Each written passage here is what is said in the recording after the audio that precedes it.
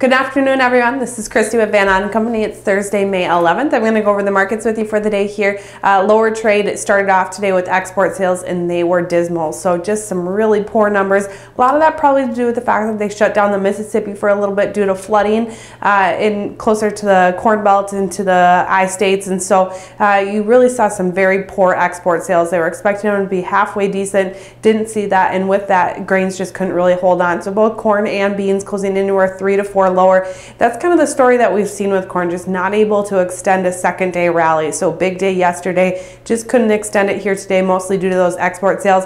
Wheat was the same situation, but they were able to come back later in the day up one to four. Meat markets all a little bit of a weaker tone here. Um, Feeders were down four bucks at one point, closed down just shy of two dollars.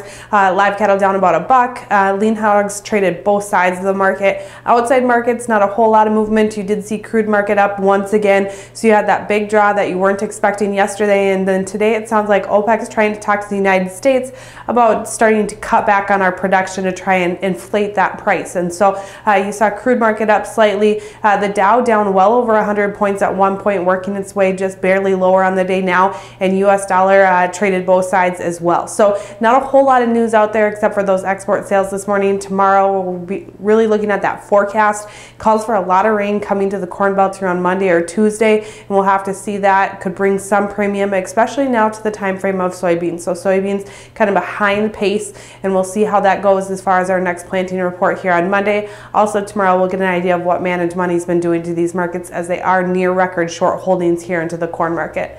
I do have to close with the disclaimer, trading in futures and options involves risk loss and would not be suitable for all producers. Have a great day.